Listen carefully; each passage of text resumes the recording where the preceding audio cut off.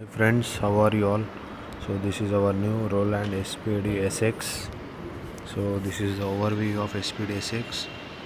So here we have power button, the master volume, phones, click, and these uh, controls, effect, master effect controls, and these are the buttons, filter, delay, S loop, and effects. So this is our display. So here we can see the pad volume, mm, kit effects and tempo. So here we have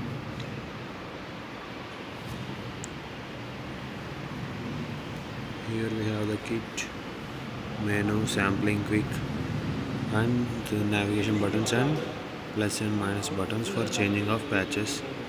So this is the shift button. You can check the pad by using the shift button through headphones only here is the our SPD pads one two three four. So this one our SPD pad now we will see the back. So here we have memory computer DC in and MIDI.